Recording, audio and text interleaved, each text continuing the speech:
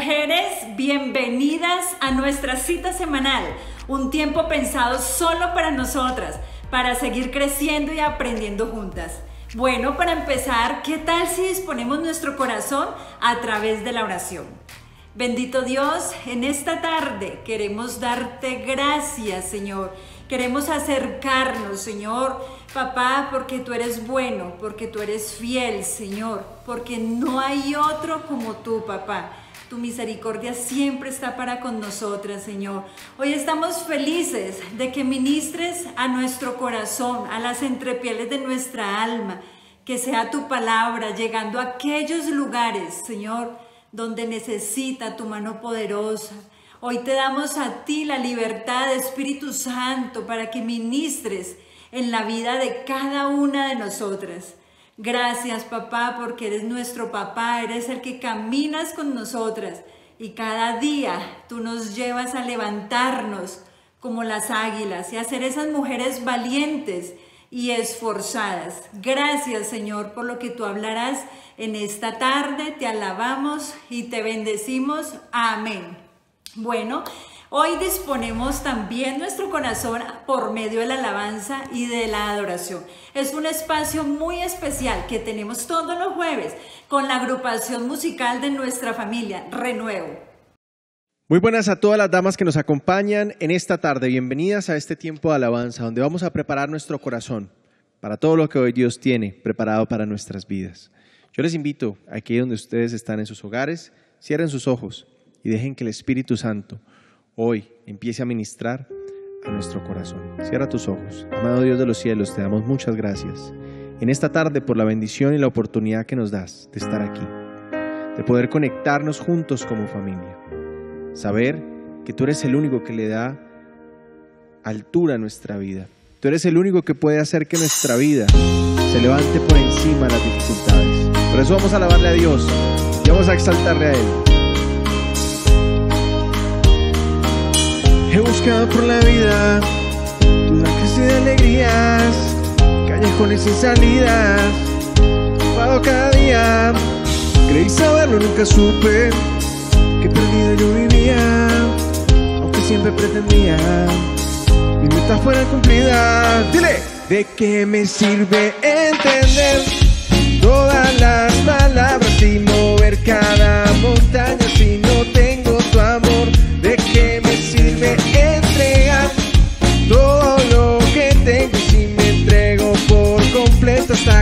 quemarme en el fuego?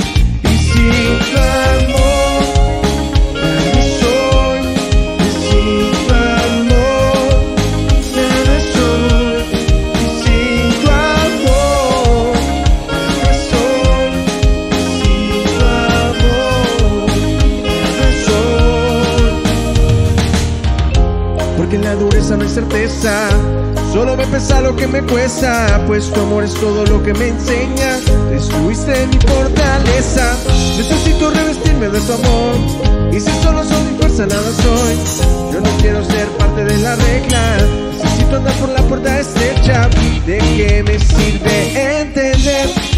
todas las palabras y mover cada montaña si no tengo tu amor. ¿De qué me sirve entregar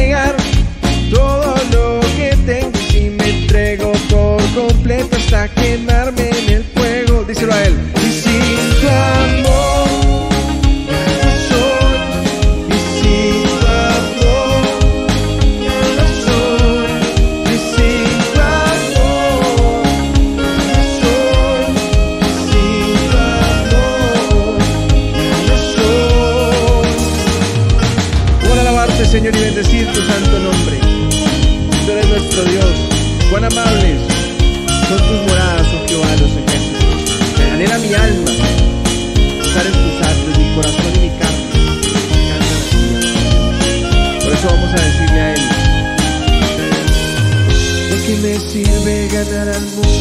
pierdo mi vida, ¿de qué me sirve entender todas las palabras y mover cada montaña si no tengo tu amor? ¿De qué me sirve entregar todo lo que tengo y me entrego por completo hasta quemarme en el fuego? Y sin tu amor.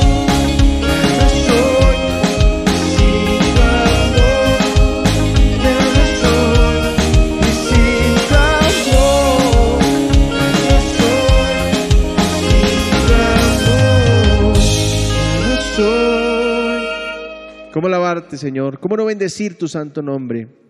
Yo te invito a que donde tú estás, en tu casa, cierres tus ojos y dejes que Dios siga ministrando a través de este tiempo. La palabra de Dios dice, bienaventurado el hombre y la mujer que tiene en ti sus fuerzas, en cuyo corazón están tus caminos. Atravesando el valle de lágrimas, lo cambian en fuente.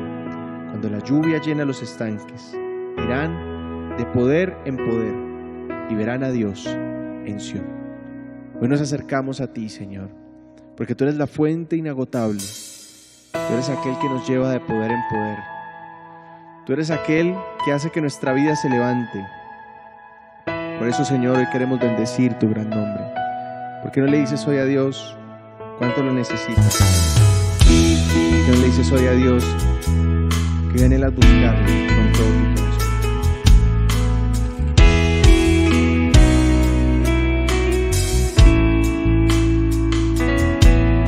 Un corazón de niño, anhelando tu presencia, hoy me acerco a ti. Tú eres quien llena mi vida esperanza y de fe.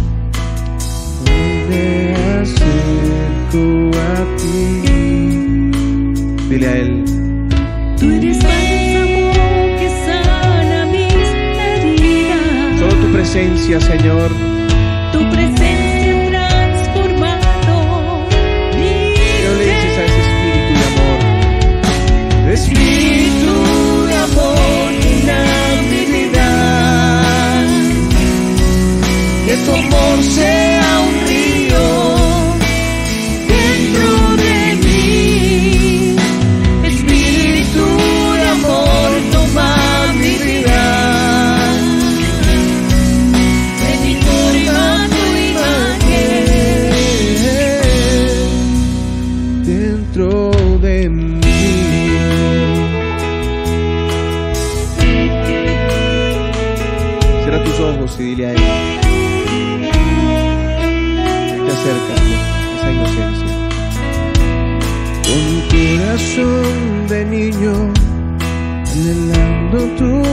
Tu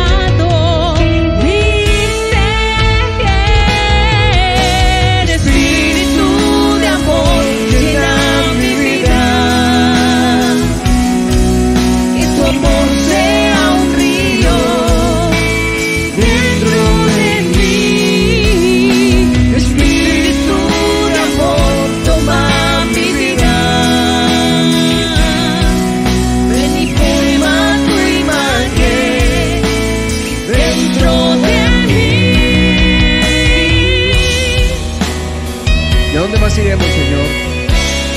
Solo tú tienes palabras de vida eterna.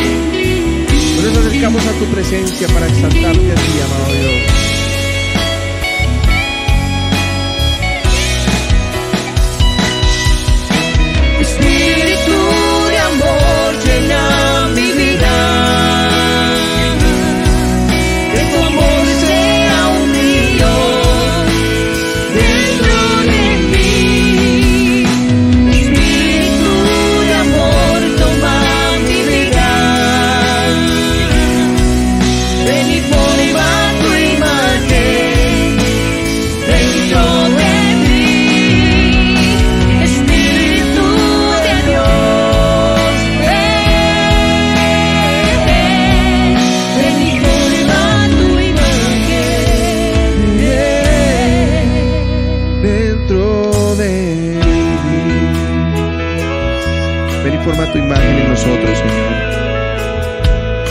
Queremos exaltarte, Padre. Y ahora, cerrando tus ojos, dile, Señor, te damos gracias por este tiempo. Gracias porque tú eres nuestro escudo. Gracias porque tú eres el que vela por nuestra vida, Señor. Ahora te pedimos que tomes esta reunión, que tu palabra que es viva y eficaz llegue a lo profundo de nuestro ser. Amén. Bueno, luego de este tiempo maravilloso en la presencia de Dios, vamos a seguir con nuestra programa. Gracias a Renuevo por este tiempo tan maravilloso de calentar nuestro corazón. Bueno, nos hace muy felices de escuchar sus experiencias de esta reunión virtual de damas que suben a sus redes sociales con el numeral En Casa con Dios. Qué bueno es compartir lo que Dios ha hecho en este tiempo, donde cada vez más confirmamos que Él es respuesta a la vida de cada una de nosotras. Hoy nos acompaña Marley Orjuela desde Panamá. Buenas tardes, mi nombre es Marley Orjuela, de Panamá, y hoy quiero darle gracias a Dios por todo lo que nos ha enseñado a través de las reuniones del Ministerio Virtual y muy especialmente lo que ha sido las reuniones de damas en donde la líder Saidi nos ha enseñado lo que es la fe de milagros y en medio de esta pandemia es donde hemos podido colocar en práctica cada una de esas cosas aprendidas y hemos aprendido a creer a confiar, a esperar en Dios y de verdad que ha sido muy gratificante y hemos visto cómo Dios nos ha mimado en cada uno de los detalles que ha tenido conmigo y con mi familia porque las bendiciones han sobreabundado en mi familia. Muchas gracias familia por todo. En el programa pasado hablamos de la paternidad como la base de nuestra fe. Esta genera en nuestras vidas tres cosas importantes pertenencia, provisión y protección. Hoy nuestra directora mundial nos enseña acerca de la provisión. Bienvenida, líder Saidi. Muy feliz de estar con todas ustedes de nuevo en nuestro programa. Hoy vamos a continuar viendo la paternidad, la base de la fe. En nuestro programa anterior aprendimos que Dios es nuestro Padre y que Él cada día busca llenar nuestros vacíos y faltantes. E igualmente, cómo a pesar de las dificultades, David miró a Dios, a ese Padre que llena nuestras necesidades. Sin duda, todos hemos tenido experiencias negativas o positivas con el tema de la paternidad. Y desde esta misma experiencia podemos ir concluyendo que ha influenciado en nuestra salud emocional y aún en nuestra fe todo el concepto que ustedes y yo tengamos de la paternidad. Por lo tanto, todo esto termina afectando la forma como nos acercamos a Dios y lo desconocemos como Padre, lo cual nos impide experimentar el sentido de pertenencia en nuestras vidas. Recordemos que esta visión de la paternidad está basada en lo que mi esposo nos compartía en el año 2019, denominado el año de la búsqueda de Dios, y nos compartía lo siguiente. La paternidad genera en nuestras vidas tres cosas importantes. Pertenencia, el cual vimos en el programa anterior, provisión y protección. Específicamente en el programa de hoy veremos el segundo tema, que se denomina la provisión en medio de la paternidad. Hoy aprenderemos que Dios como nuestro Padre busca proveernos en todo, así como lo tenía claro David cuando lo expresó en el Salmo 23, 1. Jehová es mi pastor, nada me faltará. Como hijas de Dios debemos entender que nada nos faltará, ni el más mínimo detalle. Esto implica ver la mano de Dios en todas las áreas de nuestra vida. Esto quiere decir que nada nos faltará en lo espiritual, Nada nos faltará en lo emocional ni tampoco en lo material. Ahora la pregunta que surge es, ¿por qué hay escasez en mi vida y en la suya?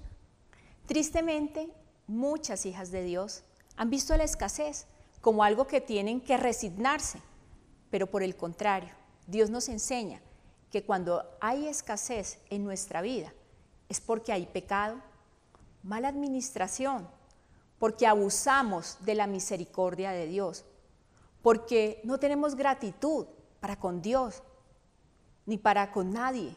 En fin, un sinnúmero de situaciones que hace que la bendición se escape de nuestras manos. El Señor Jesús nos enseñó en el Padre nuestro que a través de la oración podemos pedirle a Dios que nos provea todo lo que necesitamos, como lo expresa en Mateo 6, 11. El pan nuestro de cada día, dánoslos hoy. El mismo Jesús nos ratifica la respuesta de Dios como Padre hacia nuestras vidas. Igualmente podemos acá enunciar Mateo 7 al 11. Pues si vosotros siendo malos sabéis dar buenas dádivas a vuestros hijos, cuanto más vuestro Padre que está en los cielos dará buenas cosas a los que le pidan. Vemos claramente que Dios siempre buscará darnos lo excelente. El mismo Señor Jesús nos recuerda que siendo nosotras tan imperfectas y llenas de indolencia, y aún así, en la mayoría de los casos, buscamos proveer lo mejor a nuestros hijos. Podremos tener la absoluta certeza que Dios nos dará más de lo que el amor limitado e imperfecto de las personas nos puedan proveer. Con base en esto, nos seguimos preguntando, ¿por qué hay tanta escasez en nuestra vida? Y vamos hoy a retomar la historia del Hijo Pródigo, en Lucas 15. Ahora recordemos que la semana pasada hicimos un énfasis de la segunda parte de esta historia y cómo el hijo mayor no experimentaba la paternidad de su padre y fruto de ello la pertenencia en su vida. El día de hoy nos vamos a centrar en la primera parte de la historia y vamos a ver cómo el hijo menor termina siendo un reflejo de lo que muchas hijas de Dios experimentamos en nuestra vida. Veamos el primer punto de este tema. ¿Por qué un hijo vive la escasez? Vamos entonces a ver cómo nos dice la palabra de Dios. En Lucas capítulo 15, del 15 al 16. Y fue y se arrimó a uno de los ciudadanos de aquella tierra, el cual le envió a su hacienda para que apacentase cerdos, y deseaba llenar su vientre de las algarrobas que comían los cerdos, pero nadie le daba. Este pasaje nos muestra el estado en que se encuentran muchas hijas de Dios, que debiendo vivir como hijas teniéndolo todo y disfrutando de las promesas de Dios que están en su palabra, viven en escasez, mendigando de las obras y buscando la aceptación de otros en su vida. La pregunta que hoy debemos hacernos es, ¿cómo el hijo menor, teniendo todo, llega a este estado? Ahora preguntémonos, mujeres, ¿cuál es el motivo por el cual nosotras como hijas de Dios permitimos cosas en nuestra vida que nos alejan de aquella vida abundante que Dios nos prometió. Vamos a ver cuatro puntos importantes que empobrecen nuestra vida como mujeres, impidiéndonos experimentar la paternidad y fruto de ella vivir la provisión de Dios. Estos cuatro puntos los podemos identificar en la historia del hijo pródigo, específicamente en el hijo menor. Primero, vivir la gratitud en medio de mi paternidad. Segundo, romper mi comunión con Dios como mi Padre. Tercero, permitir el pecado en mi vida y encubrirlo. Y cuarto, vivir la mala administración. Veamos el primer punto de aquellas cosas que me impiden experimentar la paternidad y fruto de ella la provisión en mi vida. Primero, vivir la ingratitud en medio de mi paternidad. Vemos en Lucas capítulo 15 y específicamente el versículo 12 nos dice, y el menor de ellos dijo a su padre, Padre, dame la parte de los bienes que me corresponde y le repartió los bienes. Este versículo podemos apreciar la historia del hijo pródigo, que el hijo menor vivía en las mejores condiciones junto a su padre. Pero un día dio por hecho y se acostumbró a la bendición de parte de Dios en su vida. Y en lo profundo de su corazón empezó a darse lo que empieza a nacer y aflorar en un corazón que deja de estar agradecido con Dios, lo cual es la soberbia y la ingratitud. Mujeres, cuando miramos a nuestro alrededor, no importa qué tan difícil sea la situación que estemos viviendo, siempre habrá motivos para estar agradecidos con Dios. Pero cuando el orgullo, la altivez y la soberbia se apoderan de nosotras, sucede lo que pasó con el hijo menor de nuestra historia. Nuestro corazón se llena de orgullo y empezamos a exigir, incluso eh, exigimos nuestros propios derechos, que posiblemente sean válidos. Pero lo triste aquí es que a través de nuestro mal comportamiento estamos desechando la bendición de Dios y empezando a adoptar un lenguaje de crítica, de exigencia y de victimización. Podemos estar absolutamente seguras, mujeres, que nunca una persona orgullosa, altiva y soberbia terminará bien, como lo dice la palabra de Dios. En Proverbios 16, 18. Antes del quebrantamiento es la soberbia y antes de la caída la altivez de espíritu. Una persona orgullosa, soberbia y altiva jamás será próspera. Por el contrario, está preparándose para caer y ser quebrantada. La altivez, el orgullo y la soberbia siempre darán a pie a la rebeldía en nuestro corazón. Por eso, si en nuestro corazón hay rebeldía, altivez, orgullo, que sea esta la oportunidad para acercarnos a Dios, que Él es el único que puede ayudarnos a recuperar nuestro proyecto de vida y el proyecto de mi familia.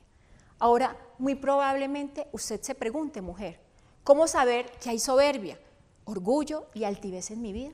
Hay una forma muy sencilla de saberlo, mujeres.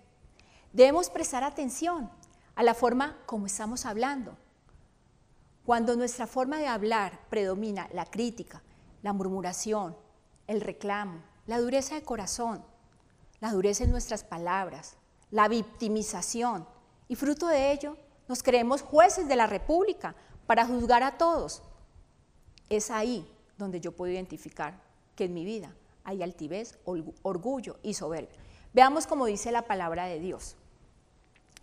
En Proverbios 27, 15. Gotera continua en tiempo de lluvia y la mujer rencillosa son semejantes. Preguntémonos, mujer, ¿será que somos de aquellas mujeres rencillosas? Una mujer rencillosa es propensa a la pelea, a la contienda, a la riña. Necesariamente experimenta en su vida orgullo, altivez y soberbia. Mujeres, ni ustedes ni yo estamos llamadas por parte de nuestro Padre a ser mujeres rencillosas. Recordemos que estamos llamadas a edificar y no a destruir, aunque quizás sea más fácil destruir con nuestra mala conducta y nuestro estilo de vida. Después de identificar todo aquello que nos lleva a vivir una vida de ingratitud en medio de mi paternidad, y fruto de ello no poder experimentar la provisión de parte de Dios, vemos un segundo punto que me impide ver la provisión de Dios en mi vida. Por eso, volvamos a nuestro relato bíblico. En Lucas capítulo 15, versículo 13, parte A. No muchos días después, juntándolo todo el hijo menor, se fue lejos a una provincia apartada. El segundo punto que me impide disfrutar de la paternidad de Dios y fruto de ello su provisión es el siguiente. Romper mi comunión con Dios como mi Padre. Cuando tomamos la decisión de alejarnos de Dios, cuando dejamos de buscarle en oración, cuando ya no estudiamos su palabra, cuando no obedecemos la instrucción que Dios nos ha dado, seguramente a través de nuestra autoridad, sin duda alguna, nuestra relación no se rompe porque seguiremos siendo hijas. Y si algo tenemos seguro e incondicional es el amor de Dios como nuestro Padre.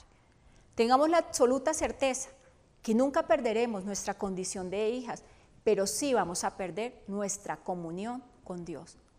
No importa lo que hagamos, nunca dejaremos de ser hijas, pero nuestra comunión, es decir, el disfrutar de Dios como nuestro Padre, sí podemos interrumpirlo. Y recordemos lo que decía nuestro Padre en la fe, no existen hijos favoritos, sino hijos que se acercan más. Y pregúntese, mujer, ¿qué tanto usted y yo nos estamos acercando a Dios como Padre? El disfrutar nuestra comunión con Dios es muy importante cuando hablamos de la provisión. Porque fruto de disfrutar nuestra paternidad con Él, obtenemos la capacidad de multiplicar nuestros recursos, pero también de disfrutar de ellos. Muchas personas solo tienen cosas materiales, pero no tienen la capacidad de disfrutar de ellas, ya que el hacer riquezas y disfrutar de ellas son dos atributos necesarios que vienen fruto de experimentar la paternidad de Dios que genera provisión y sobreabundancia en mi vida. Miremos lo que nos dice la palabra de Dios acerca de los dos atributos necesarios que debemos tener cuando experimentamos la paternidad de Dios y fruto de ello la provisión en nuestra vida. Hacer riquezas. En la palabra de, Dios nos confirma que Él nos dará la capacidad de multiplicar todas las cosas como lo vemos en Deuteronomio capítulo 8, versículo 18. Si no, acuérdate de Jehová tu Dios, porque Él te da el poder para hacer las riquezas, a fin de confirmar su pacto que juró a tus padres como en este día. La palabra de Dios nos afirma, cuando hace alusión a esa palabra, acuérdate, que el dinero casi siempre genera una falsa sensación de seguridad en nuestras vidas. Seguridad que nos lleva fácilmente a alejarnos de Dios. Pensemos por un momento, ¿cuántas veces le hemos clamado a Dios por provisión material en nuestra vida, en un negocio o por un trabajo, por una posición social? entre muchas otras cosas materiales que suplan nuestras necesidades físicas y emocionales. Pero de manera decepcionante para Dios como nuestro Padre, cuando Él suple todos nuestros anhelos y necesidades materiales, de manera sorprendente, se nos olvida que toda la provisión viene de mano de Dios. Pregúntese hoy, ¿cuántas veces usted como mujer se le ha olvidado que toda su provisión y la de su familia viene de parte de Dios? La palabra de Dios nos enfatiza que Él da el poder. Es decir, es Dios quien da el poder para hacer las riquezas. Solo cuando estamos en comunión con Dios podemos tener la sabiduría y la capacidad para que los recursos materiales se multipliquen en nuestras manos.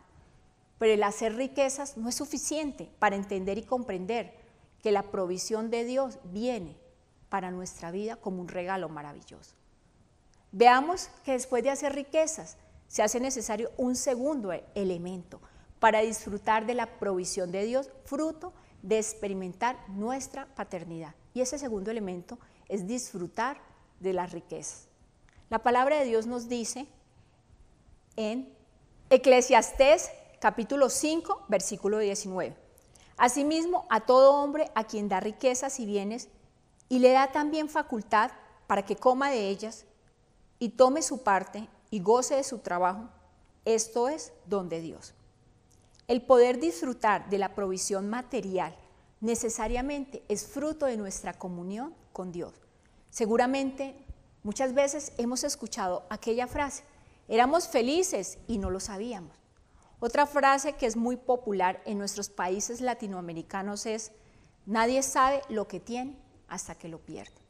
Ambas frases de cierta forma dicen lo mismo, ya que generalmente cuando tenemos algo material, es decir, la provisión de parte de Dios o alguien a nuestro lado, que es importante en nuestra vida, que ha sido quizás una persona que ha marcado un derrotero, que ha sido esa compañera, compañero, complemento, respaldo importante en la construcción de nuestro proyecto de vida, que de la misma manera quiero que entiendan, esa persona es un regalo de parte de Dios pero que por nuestra falta de comunión con Dios no estamos disfrutando ni de la provisión material, ni del regalo de Dios a través de aquellas personas importantes en nuestra vida.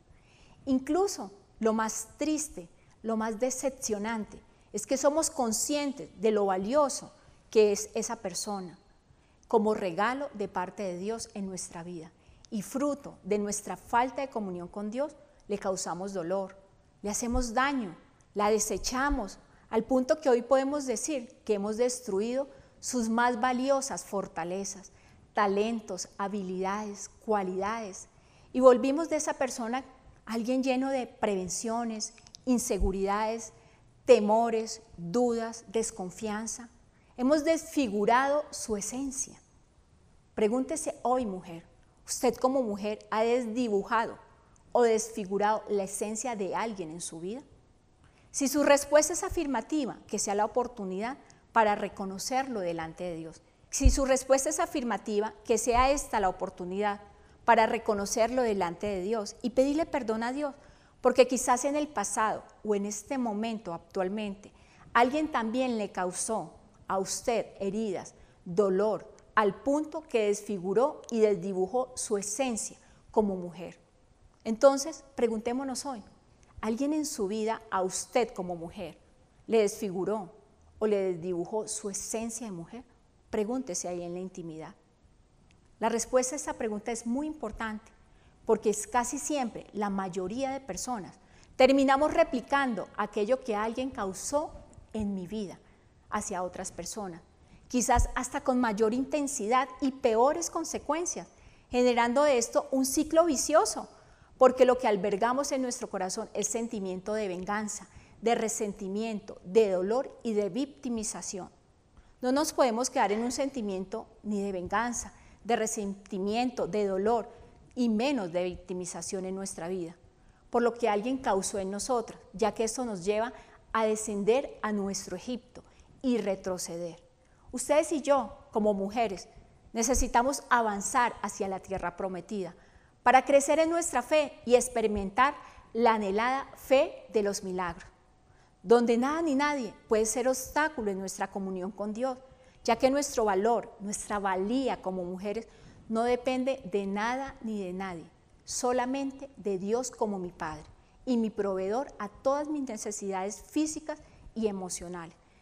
De la misma manera, fruto de mi paternidad con Dios, experimento la provisión material en mi vida, pero en muchas ocasiones mi falta de comunión con Dios no me permite disfrutar de las riquezas y la provisión de, que Él nos da.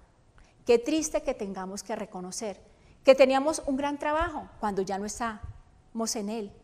O que quizás un viaje fue súper especial cuando este ya se acabó. O que nuestros hijos eran fantásticos cuando ya se han ido a hacer sus vidas. O lo peor aún, que teníamos a nuestro lado un esposo o una esposa cuando esa ya no esté. Porque sé que este programa, aunque es de mujeres, muchos hombres también nos escuchan.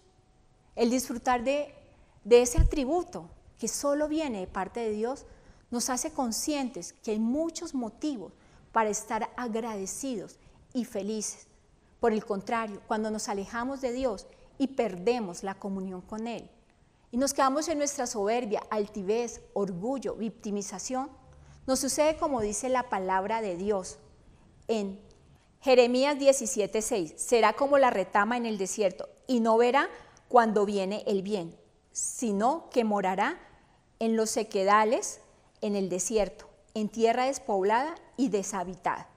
Mujeres, no permitan que fruto de su falta de comunión con Dios se cumpla lo que dice este pasaje y no verá cuando viene el bien. Es posible que todo lo que usted necesita como mujer para ser feliz está como dice esa frase popular. Todo está frente a sus narices y nosotros no lo vemos. Después de identificar todo lo que conlleva vivir la ingratitud y fruto de ello no poder experimentar la provisión de Dios en nuestra vida, también identificamos un segundo punto, como es romper mi comunión con Dios como mi Padre, para así poder identificar un tercer punto importante. Veamos, como dice la palabra de Dios en Lucas capítulo 15, versículo 3 en la parte B. Aquí encontramos la tercera aptitud que nos empobrece y no nos permite disfrutar de la provisión de parte de Dios. Y dice así, y allí desperdició sus bienes, viviendo perdidamente. El tercer punto que nos impide ver la provisión de parte de Dios es permitir el pecado en mi vida y encubrirlo. Este tercer punto nos está haciendo énfasis en aquellas puertas que estamos abriendo en nuestra vida y sabemos que no agradan a Dios. ¿Cuántas cosas hemos permitido en lo oculto de nuestra vida y hemos encubierto este pecado en nuestra intimidad? Eso nos lleva a vivir una vida doble, falsa, hipócrita, donde mostramos a otros una fachada de aparente espiritualidad, de conocimiento y comunión con Dios. Pero en el fondo de nuestro corazón y de nuestra vida experimentamos una vida de derrota, de fracaso, de frustración, de inseguridades, de temores.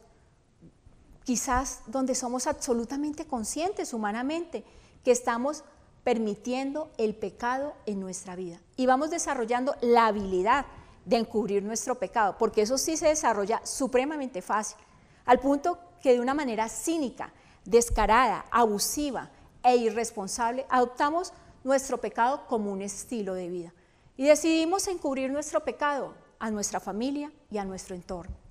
Pero lo que olvidamos es que el pecado se termina convirtiendo en una atadura y una herencia de maldición en mi vida y en la suya, pero también en la vida de los nuestros.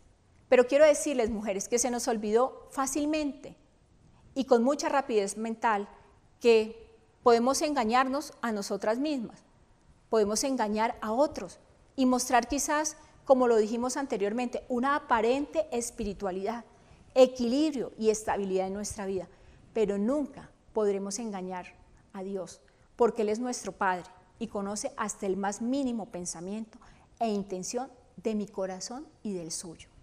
Cuando permitimos el pecado en nuestra vida, ya sea en el área espiritual, sexual, matrimonial, familiar, laboral, académica, entre muchas otras, cualquiera que sea el rol que nosotras como mujeres desempeñemos, estamos trayendo a nuestra vida adulterio, infidelidad, fornicación, hurtos, mentira, engaño, desórdenes sexuales, prostitución, pornografía, lesbianismo, homosexualismo, entre muchos otros pecados que podemos enunciar acá. Y lo peor aún, decidimos encubrirlo y asumirlo como un estilo propio de vida. Estamos destruyendo nuestra comunión con Dios y esto nos impide disfrutar de la paternidad y fruto de ello, de la provisión de Dios en mi vida.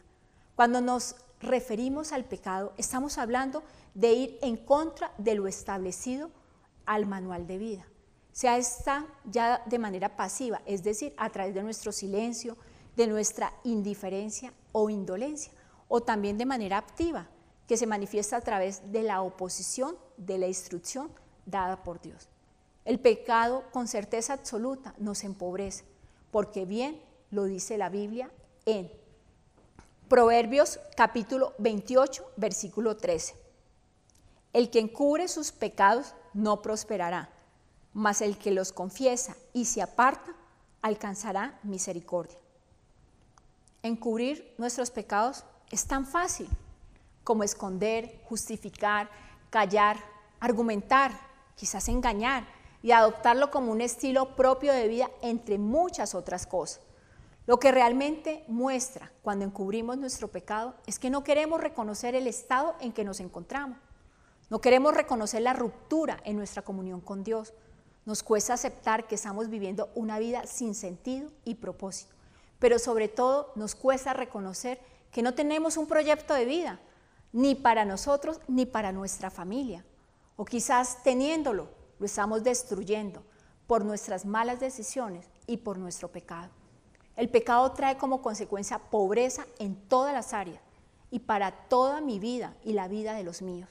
Después de identificar todo lo que conlleva vivir la ingratitud en medio de mi paternidad, de romper la comunión con Dios como mi Padre y de permitir el pecado en mi vida y peor aún, encubrirlo, lo cual me impide experimentar la paternidad y fruto de ello, ver la provisión de Dios, podemos encontrar un cuarto punto importante que me impiden disfrutar de la paternidad de Dios y ver la provisión de Dios en mi vida.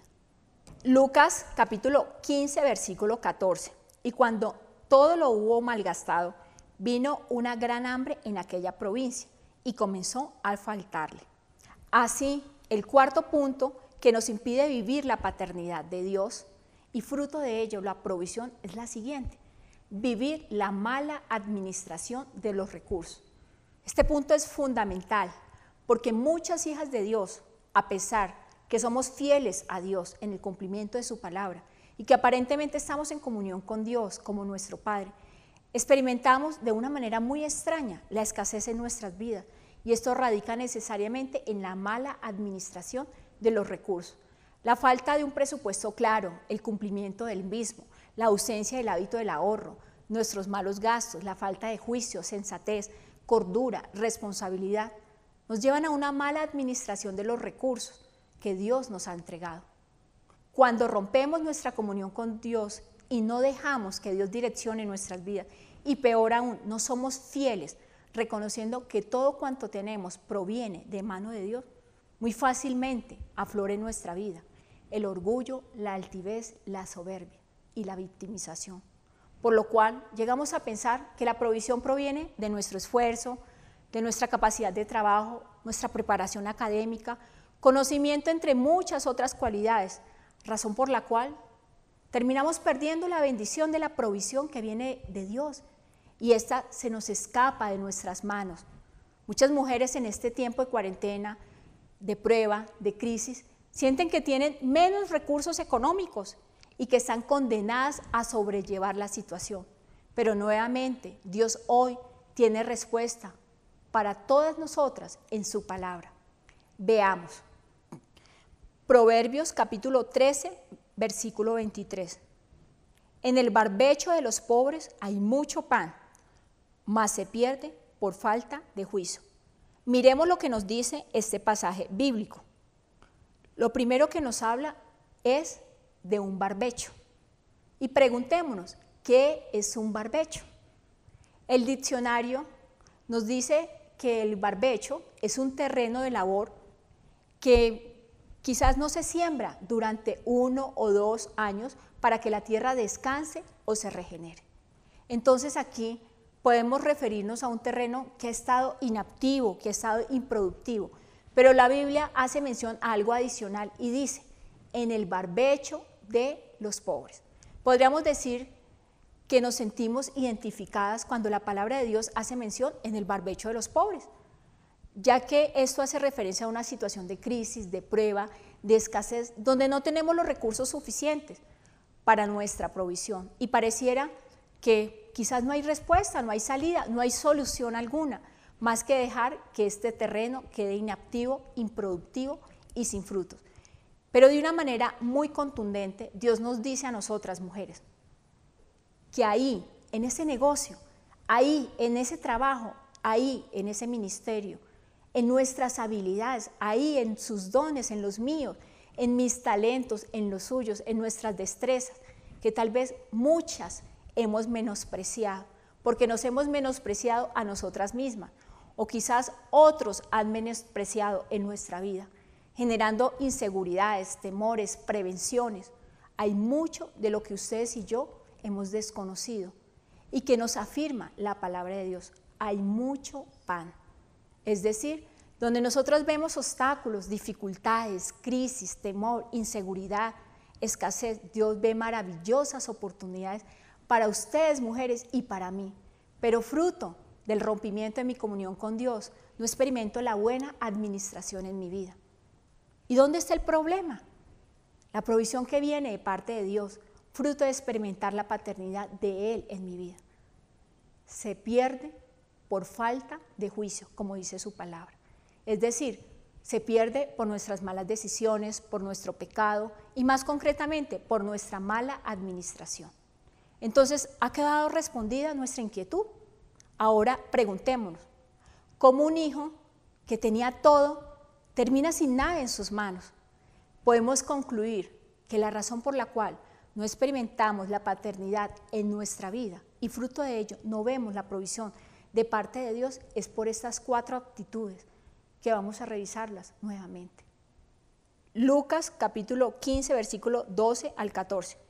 Y el hijo menor de ellos dijo a su padre, Padre, dame la parte de los bienes que me corresponde y les repartió los bienes. No muchos días después, juntándolo todo, el hijo menor se fue lejos a una provincia apartada y allí desperdició sus bienes viviendo perdidamente. Y cuando todo lo hubo malgastado, vino una gran hambre en aquella provincia y comenzó a faltarle.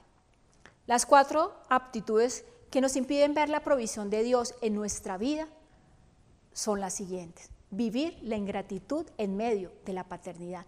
Romper la comunión con Dios como mi Padre, permitir el pecado en mi vida y encubrirlo, y vivir la mala administración.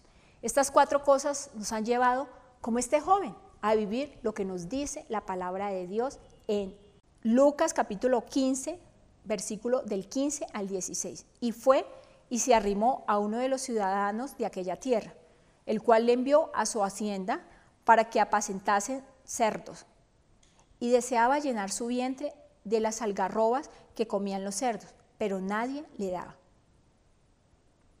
Eso no es lo que Dios quiere para nosotras mujeres. ¿Qué debemos hacer nosotras como mujeres para no vivir en escasez? Veamos cómo reconciliarnos con la paternidad para poder experimentar la provisión de Dios en mi vida. Vamos a ver de la misma manera cuatro puntos importantes para levantarnos de la escasez y así poder disfrutar de la provisión de Dios en mi vida. El primer punto es reconocer mi estado. Segundo, tomar decisiones en mi vida. Tercero, aceptar la disciplina de parte de Dios. Y cuarto, tomar acciones delante de Dios. Veamos el primer punto para levantarnos de la escasez y disfrutar de la provisión de Dios en nuestra vida. Primero, reconocer mi estado. La palabra de Dios nos dice en Lucas capítulo 15, versículo 17, y volviendo en sí, dijo, ¿cuántos jornaleros en casa de mi padre tienen abundancia de pan? Y yo aquí perezco de hambre. El primer paso siempre será reconocer mi estado. En muchas ocasiones hemos decidido cerrar nuestros ojos a la realidad. Por eso hoy debemos cuestionarnos si en realidad estamos viviendo como hijas de rey y fruto de ello estamos experimentando la pertenencia en nuestra vida, así como lo vimos en el programa anterior. Mientras nos engañemos a nosotras mismas, busquemos engañar a otros como consecuencia de nuestra soberbia, orgullo, altivez, temores, inseguridades, quizás victimización, y no reconozcamos nuestro estado, nunca vamos a poder salir de la crisis, de la prueba, del desierto en el cual nos encontramos. Y fruto de ello no podremos salir de la escasez que vivimos en nuestra vida. Después de hacer un diagnóstico y reconocer mi estado, debemos hacer lo siguiente. Como segundo punto, tomar decisiones en mi vida. Y veamos lo que nos dice la palabra de Dios en Lucas capítulo 15, versículo 18. Me levantaré e iré a mi padre y le diré, Padre, he pecado contra el cielo y contra ti. Este joven sabía que estaba mal en su vida, pero tengamos en cuenta que de nada nos sirve conocer el diagnóstico de nuestro estado cuando permanecemos inmóviles, estáticas, paralizadas, resignadas a nuestra realidad. La Biblia nos expresa en este pasaje bíblico, me levantaré e iré a mi Padre. Esa misma decisión que tomó el hijo menor en la historia del hijo pródigo, debemos tomarlas ustedes y yo para ver la bendición en nuestra vida, la cual nos permite reconciliarnos con la paternidad y así experimentar la provisión de Dios, porque nada podemos hacer separados de Dios. Aquí le recuerdo a todas las mujeres la frase que yo siempre enfatizo en mis temas y en mis oraciones personalmente. Por encima de mí, nada ni nadie, solamente mi labrador. Después de reconocer mi estado y tomar decisiones en mi vida para reconciliarme con la paternidad y fruto de ello experimentar la provisión de Dios, debemos tener presente como un tercer punto, aceptar la disciplina de parte de Dios. Y veamos como dice su palabra en Lucas capítulo 15, versículo 19. Ya no soy digno de ser llamado tu hijo hazme como a uno de tus jornaleros. Una de las razones por las cuales muchas de nosotras no estamos dispuestas a reconocer nuestro estado, a tomar decisiones en nuestra vida con humildad, reconociendo que nos hemos equivocado, que hemos fallado, que nos cuesta aceptar los límites, que nos cuesta que nos corrijan, o más concretamente, que hemos pecado contra Dios, es porque nos resistimos a aceptar las consecuencias que implica la disciplina de Dios en nuestra vida. Pero si algo nos enseña el relato bíblico del hijo pródigo y más concretamente del hijo menor, quien reclamó a su padre sus derechos como hijo frente a sus bienes, es lo siguiente. Tenemos que aceptar cuando hemos fallado, cuando nos hemos equivocado, cuando hemos desobedecido a Dios, es decir, cuando hemos pecado contra Dios. Y cuando aceptamos que hemos pecado contra Dios, necesariamente experimentaremos en nuestro corazón el arrepentimiento. Sin arrepentimiento seremos propensos a volver atrás, a descender a nuestro Egipto, como lo hizo el pueblo de Israel. Cuando aceptamos que cometemos un pecado contra Dios, podemos recordar que en la vida del rey David, este nos enseñaba algo muy importante en la palabra de Dios. Y veamos, como dice Segunda de Samuel, capítulo 24, versículo 14. Entonces David dijo a Gad, en grande angustia estoy. Caigamos ahora en mano de Jehová, porque sus misericordias son muchas, mas no caiga yo en manos de hombres. David sabía que Dios era su papá y que en él siempre estaría la misericordia. Por lo tanto, la mejor decisión que podía tomar era aceptar que había pecado contra Dios y fruto de ello debía asumir las consecuencias de sus malas decisiones y dejar que Dios volviera y direccionara su vida. Y finalmente, en Lucas capítulo 15, versículo 20, y levantándose vino a su padre. Después de reconocer mi estado, de tomar decisiones en mi vida y aceptar la disciplina de parte de Dios para reconciliarme con la paternidad y fruto de ello experimentar la provisión en mi vida, debemos como cuarto punto tomar acciones delante de Dios. No es suficiente cuando tenemos claro el diagnóstico de nuestro estado o aparentemente decidimos tomar decisiones delante de Dios o aceptar las consecuencias de nuestras malas acciones, sino tomamos una decisión firme delante de Dios para actuar y ser renovadas.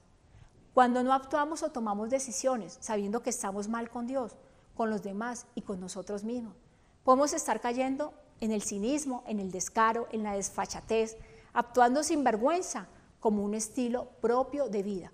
Hoy mi invitación a todas las mujeres que me ven y escuchan en este programa es a que nos levantemos de nuestro estado, tomemos la decisión de avanzar hacia la tierra prometida para crecer en nuestra fe y llegar a la anhelada fe de los milagros. Entonces podemos concluir que la ingratitud para con Dios, romper nuestra comunión con Dios, permitir el pecado en nuestra vida e encubrirlo, la mala administración, todo esto nos lleva a vivir una escasez. Pero no nos podemos quedar ahí, mujeres. ¿Cómo nos levantamos? Acá no lo dijo la palabra de Dios. Debemos reconocer nuestro estado, hacer un diagnóstico de él, tomar decisiones, aceptar las consecuencias, actuar para ser renovadas, para así poder experimentar la paternidad de Dios y fruto de ello la provisión de Dios en nuestra vida. Como nos lo decía claramente Lucas en el capítulo 15, versículo del 22 al 24. Dios es nuestro Padre y Él desea proveer a todas nosotras de manera sobreabundante, con lo mejor y con lo más excelente. Y recordemos, mujeres, cuál fue la respuesta del Padre a su Hijo cuando Él se arrepiente y vuelve a sus brazos. La misma que Dios desea darnos hoy, a ustedes y a mí. Y para ello necesitamos tomar la decisión de abrazar las promesas dadas por nuestro Padre y sobre todo de proyectar nuestra vida. Porque cuando nos referimos a proyectarnos, necesariamente estamos haciendo referencia a desarrollar nuestra vida, nuestros dones, talentos, carácter, hacia nuestro proyecto de vida específico. Pero muchas mujeres temen vivir esto, tienen temor de proyectarse porque al final es algo incierto, pero yo les pregunto a todas ustedes, ¿qué puede ser más cierto y seguro que las promesas de Dios? Recordemos, mujeres, ¿cuál fue la respuesta del Padre a su Hijo cuando Él se arrepiente y vuelve a sus brazos? La misma que Dios desea darnos hoy a ustedes y a mí, pero para ello necesitamos tomar la decisión de abrazar las promesas dadas por nuestro Padre, pero sobre todo proyectar nuestra vida sobre estas promesas.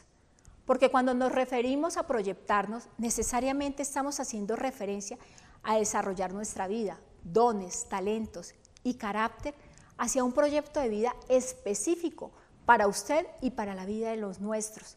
Pero muchas mujeres temen vivir esto, tienen quizás inseguridad de proyectarse, porque al final creen que es algo incierto.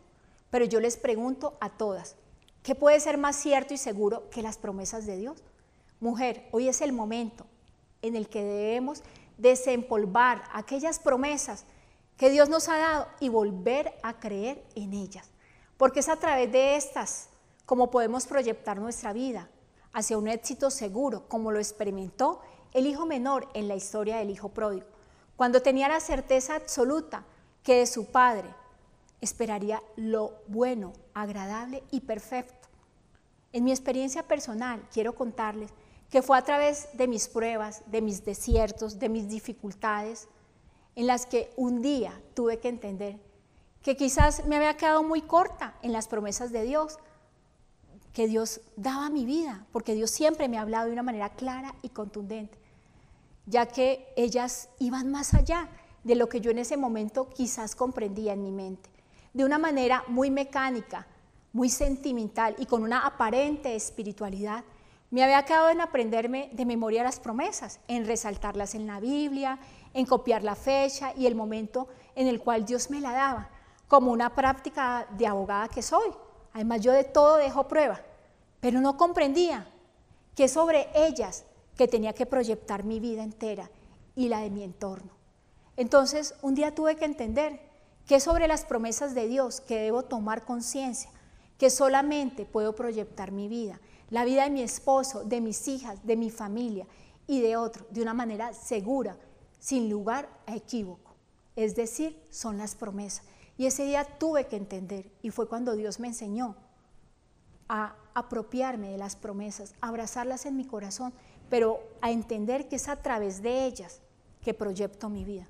Y yo les pregunto, mujer, ¿cuál es la promesa que Dios le dio a usted? Esa promesa más importante en su corazón. Quizás fue cuando tomó una decisión fundamental en su vida. La promesa de su matrimonio, la promesa de su llamado, la promesa de emprender un negocio, un proyecto, la promesa para tomar decisiones, tantas cosas, pero hoy les invito a que vuelvan a esa promesa, así como yo un día lo tuve que hacer. Volver a la promesa de mi matrimonio para entender el propósito de Dios en mi vida en medio de mi matrimonio. Volver a la promesa de mis hijas para entender que son fruto de un milagro de Dios para mi vida y poder proyectar la vida de ellas. Entender la promesa de Dios en mi vida en mi llamado, para entender cuando quería desfallecer que fue Dios quien me puso en este lugar. Y no fue mano de hombre, fue Dios quien lo hizo. Y así entender muchas promesas en mi área personal, entender muchas promesas cuando aún mi corazón sangra y hay heridas en él, para superarlo y no quedarme atrás y no volver a mi Egipto.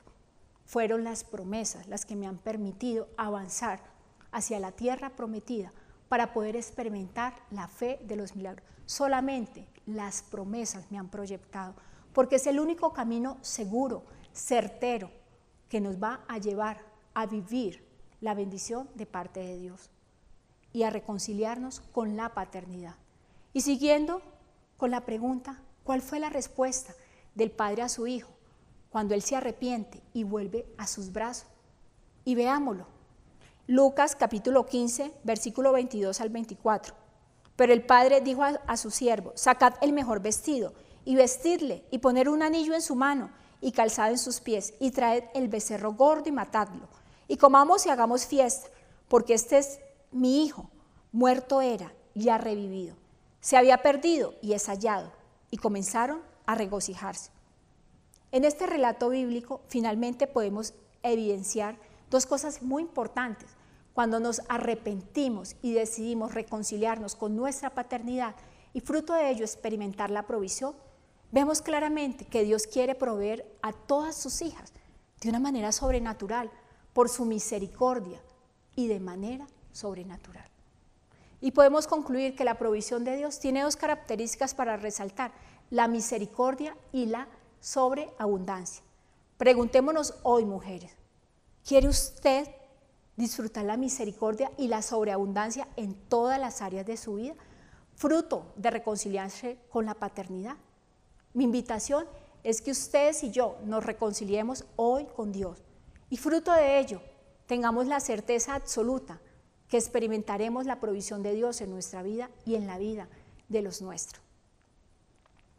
Muy agradecida con Dios por esa oportunidad que nos da de estar aquí con todas ustedes. Y ahora quiero invitarlas que ahí donde se encuentran, cierren sus ojos, inclinen su rostro y que sea este motivo para darle gracias a Dios por todo lo que ha hecho en su vida y en la mía y en la vida de todos los nuestros. Padre de los cielos, hoy quiero darte muchas gracias, Espíritu Santo, por la oportunidad y el privilegio que me das de estar aquí en tu presencia. Hoy nos presentamos delante de ti como dice tu palabra, donde hay dos o tres orando en una causa, tú respondes conforme a tu santa y perfecta voluntad. Hoy nos presentamos a ti, Señor, para darte gracias por nuestro rol de mujer. Y no se canse de darle gracias por el rol de mujer. Dile sí, Señor, porque me hiciste mujer con unos talentos, con unos dones, con unas falencias, Señor. Pero solamente tú llenas todos mis vacíos, todos mis faltantes, Señor. Y hoy tú me llevas a entender que necesito reconciliarme contigo, necesito reconciliarme con la paternidad. Y fruto de reconciliarme con la paternidad, Señor, reconciliarme también contigo, Padre de los cielos, para poder experimentar la pertenencia en mi vida, para poder experimentar la provisión en mi vida, Señor, y yo te lo pido. Señor, gracias. Gracias por todo cuanto me has dado. Y dígale ahí a Dios, yo no sé qué tan grata usted ha sido con su Padre. Y si quizás ha sido escasa y ha dado todo por hecho, ha creído que son sus talentos, sus dones, todo cuanto usted tiene, lo que ha venido de parte de Dios, y usted lo ha, lo, ha desconocido, dele gracias a Dios. Y pídale perdón, dígale, sí Señor, te pido perdón porque mi ingratitud ha sido muy grande para contigo, para con aquellas personas que han sido un regalo para mi vida, aquellas personas, Señor, a través de las cuales tú has traído a mi vida para ser de bendición e incluso para ser de provisión a mí y a los míos, Señor. Pero he sido ingrata, me he quedado en la ingratitud, he dado por hecho todo, he dado por hecho tu bendición. Y hoy quiero pedirte, Señor, perdón, pero hoy quiero aprender a ser grata. Y dele gracias a Dios por todo cuanto Dios le ha dado. Dele gracias a Dios por esa persona que Dios le dio a su lado, esa persona que ha marcado su vida, que ha proyectado su vida, que le ha permitido crecer en todas las áreas de su vida e incluso en el área material, parte de la provisión. Dele gracias a Dios. Dígale, sí Señor, a través de esa persona he crecido. Yo te doy gracias, Espíritu de Dios. Dele gracias por la vida de su esposo. Dele gracias por la vida de sus hijos, por la vida de su familia, de sus líderes, de todas las personas que han sido partícipes de su crecimiento y de su proyecto de vida. Dile, Señor, yo no quiero romper mi comunión contigo. ¿Cuántas veces he roto mi comunión contigo y no he querido identificar el estado en el que me encuentro? Señor, hoy yo quiero reconocer, Señor, que he estado mal. Si este es su caso, dígaselo ahí a Dios. Yo quiero reconocer quizás que estoy mal, Señor, pero yo necesito tomar decisión y entender que necesito aceptar las consecuencias de parte de ti para renovarme. Y debo actuar, Señor, como dice tu palabra. dígale, sí, Espíritu de Dios, ¿cuál es su estado? ¿Cuál es el diagnóstico suyo? Dígale, Señor, este es mi diagnóstico. Me falta reconciliarme con la paternidad, me falta creer en ti, me falta creer que la provisión viene de tu mano, Señor, y que como hija tuya tú nos das todo y más de lo que anhelamos. Quizás yo me he quedado corta y créale a Dios, a su Padre, porque Dios ni siquiera le da los anhelos y los deseos de su corazón. Dios va más allá de los anhelos. Dios suple todos sus vacíos, sus faltantes, sus limitantes. Y dígale, sí, Señor, gracias. Padre de los cielos, perdóname porque he permitido el pecado en mi vida. ¿Y cuál es su pecado? Quizás usted se ha engañado a usted misma, ha engañado a los suyos, a su familia, ha engañado a tantos a su alrededor, pero usted sabe y conoce su pecado. Y dígale, sí, Señor, pero peor aún, he encubierto mi pecado.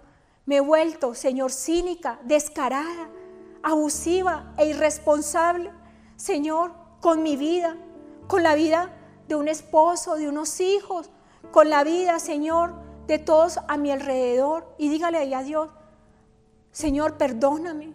Yo no quiero seguir encubriendo este pecado, porque el confiesa el pecado, tú lo haces libre. Y yo quiero hoy entregar mi pecado delante de ti, porque yo quiero avanzar hacia la tierra prometida, porque yo no me quiero quedar atrás, pero yo también quiero experimentar la provisión de Dios en mi vida. Señor, y te pido perdón porque tú me has dado tantas cosas, pero la mala administración me ha llevado a la escasez. Sí, Padre, ha sido mi falta de gratitud, el romper mi comunión contigo, el permitir el pecado en mi vida, encubrirlo y la mala administración me ha llevado a vivir una escasez. Yo no quiero seguir viviendo una escasez. Dígale a Dios, no, porque Dios es el dueño del oro y de la plata.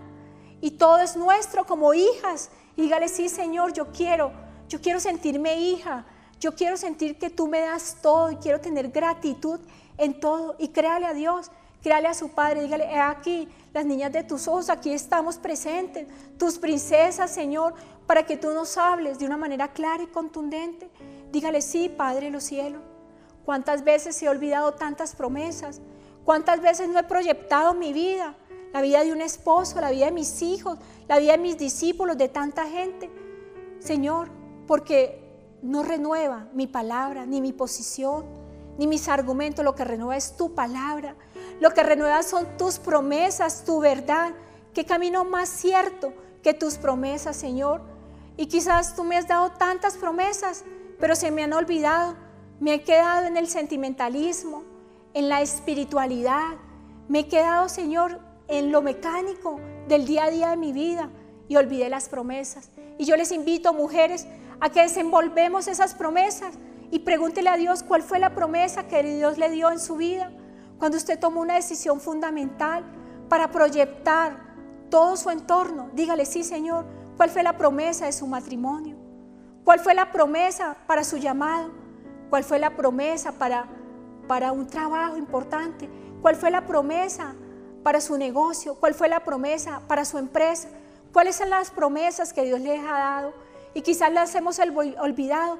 Y ahora en estos momentos de crisis, de angustia, Señor, que el mundo entero padece, volvamos a las promesas y dígale, sí, Señor, es ahí, en ese negocio donde tú estás, es ahí en esa empresa donde tú estás, es ahí en ese hombre que tú me diste como varón que tú estás, es ahí en esa mujer que tú me diste como esposa que tú estás, es ahí en esos hijos que tú me diste que tú estás, es ahí en ese ministerio, es ahí en qué, Señor. Dígale a Dios, sí, Señor, ahí tú estás, porque esa es tu provisión y tú nos sobreabundas, tú nos permites hacer riquezas, pero disfrutar de ellas.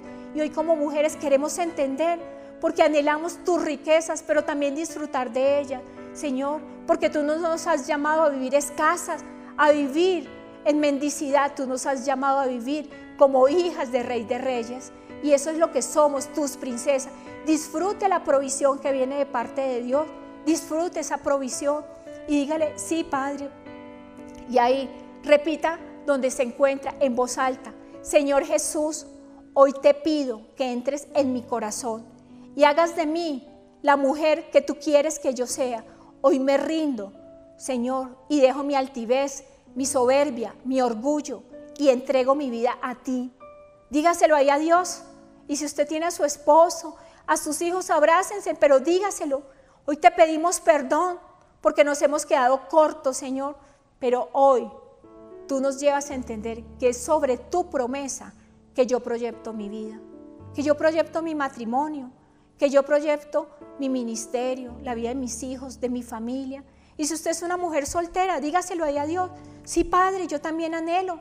Y quizás Dios le ha dado una promesa, dígale, yo la olvidé, pero tú me diste la promesa de ese varón, de esa compañía, Señor, para mi vida, porque usted la anhela y vuelva a soñar, vuelva a creer, no se quede atrás, sueñe, sueñe como sueñan los niños. Dígale, sí, Señor, yo creo. Y si Dios le dio una promesa en medio de su vientre infértil, créale a Dios, porque es Dios el que va a hacer el milagro. Es usted el que ha limitado el milagro en su vida. Y si Dios le dio una promesa, en medio de una situación económica, de un trabajo, vuelve y recuérdela. dígale, Señor, hoy tomo la decisión de abrazar esa promesa, pero entender que sobre esta promesa proyecto todo cuanto yo quiero, porque tú no eres hombre, ni hijo de hombre para mentir, ni para cambiar de parecer. Y así lo creo, Señor. Y hoy tomo la decisión de reconciliarme contigo, Padre. Porque mi valor, mi valía no depende de nada ni de nadie. Por encima de ti nada ni nadie, Señor. Y dígaselo ahí a Dios, mujer, dígaselo. Nada, Señor. Por difícil que sea mi situación, Señor, tú estás ahí. Y ahí vuelvo a la promesa que tú le diste a cada una de estas mujeres, Señor. En cualquiera que sea la situación difícil. Padre de los cielos, yo te clamo y acá estamos todas, estas mujeres clamándote, Señor, por el mundo entero, por esta situación, Señor, pero en medio de esta situación tú has permitido, Señor, que se restauren miles y miles de familias, Señor, que nuestros hijos vuelvan a ti, que nuestras familias, nuestro esposo, Señor, y te damos gracias. Señor, te clamamos por el mundo entero, por esta familia, Señor, de la teoterapia en Colombia y en el mundo, para que tú tengas misericordia de ellos, para que tú nos permitas experimentar la provisión sobreabundante, Señor, para que tú nos permitas experimentar la riqueza que viene de tu mano y poder disfrutar de las riquezas que tiene para todos tus hijos. Señor, aquí estamos tus hijos y esta familia, Señor, es tuya y nació en el corazón de un hombre y una mujer hace 57 años, Señor. Y sobre esa promesa nos remontamos para entender, Señor, que la provisión a esta familia de la teoterapia viene de tu mano. Señor, gracias, pero tú también nos enseñarás a ser buenos administradores para poder ver tu bendición. Y hoy, como la líder espiritual de toda esta familia, con la autoridad que tú me has dado, Señor, yo bendigo a cada una de estas mujeres, a sus familias ahí representadas, para que tú, a través de la paternidad, les permitas experimentar la pertenencia y la provisión sobrenatural de todos los recursos materiales y emocionales que suplan cada vacío de nuestra vida. Y yo les bendigo con la bendición del Padre, del Hijo, del Espíritu Santo, en Cristo Jesús. Amén. Muchas gracias por este tiempo y esta oportunidad que me da de compartir con todas ustedes. Nos vemos el próximo jueves a las 3 de la tarde en nuestro canal de YouTube Soy ICT. Que Dios les bendiga. Gracias, líder Saidi, por este tiempo tan especial, por recordarnos que como hijas de Dios tenemos que entender que nada nos faltará en lo espiritual, en lo emocional y en lo material. Bueno, queridas mujeres, quiero comentarles que este domingo, 21 de junio, 3 de la tarde, tendremos un especial por el Día del Padre donde nos acompañará nuestro líder mundial, el líder Jimmy Chamorro. Este evento será denominado Un hombre de valor. Les invitamos para que asistan con sus esposos, con un familiar, con un amigo, para que puedan asistir a esta movilización de varones. Bueno, mujeres, no siendo más, les esperamos el próximo jueves, 3 de la tarde, hora Colombia, por aquí en nuestro canal. Dios les bendiga.